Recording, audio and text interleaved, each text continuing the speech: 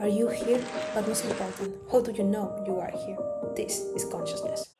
Infinite things transcend our everyday experience. The world as we see it seems to be of our property, ready to be used, to be owned. How does consciousness really act? A breakthrough exists at the quantum level of things, where atoms behave like waves, but matter around us is still sound down to earth. What? Exactly! This is what quantum mechanics tries to explain, and consciousness is the key. And how do you know you are here?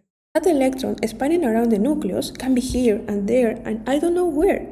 Electrons own multiple states, and a state is not only their position, but also their speed all of this happening at once. Superposition creates a wave of chances, and because electrons behave in function of this wave, this coexistence results in the wave, part wave particle duality of electrons, therefore atoms, therefore matter.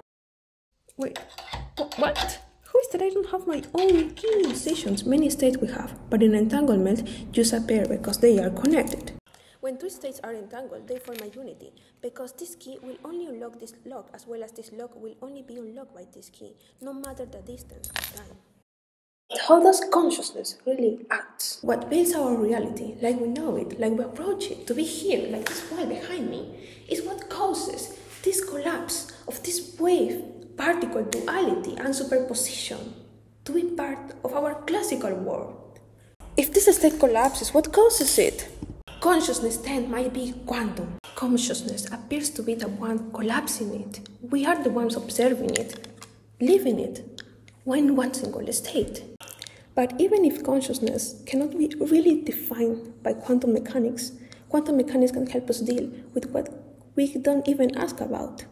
And that's the big power of quantum mechanics.